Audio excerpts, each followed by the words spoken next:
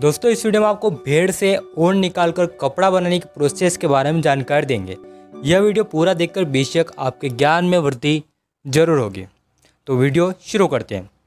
कपड़ा बनाने की प्रोसेस में सबसे पहले भेड़ से ऊन निकाला जाता है।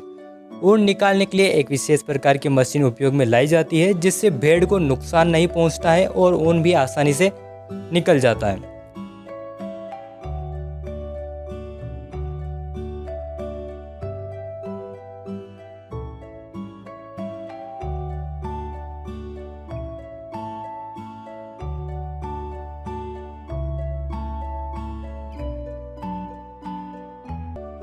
फिर इस ऊन में से खराब ऊन फेंक दिया जाता है और जो अच्छा ऊन है, उसे बॉक्स में डाल दिया जाता है।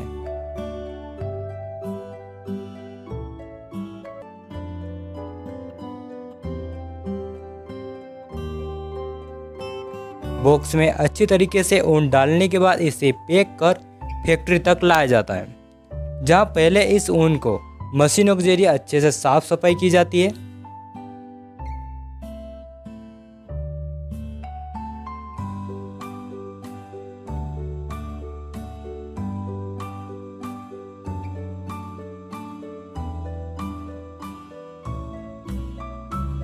इसे साफ़ करने के बाद ऊन को अलग अलग रंग देने के लिए एक बड़े कंटेनर में डाला जाता है।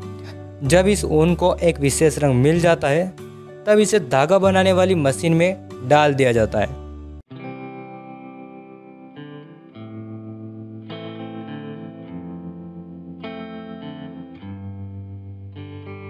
इस मशीन के ज़रिए ऊन धागों के रूप में बदलता है। मशीन के ज़रिए बेहद ही अच्छे धागे बना लिए जाते हैं और उसके बाद इन्हीं धागों से कपड़े बनाए जाते हैं।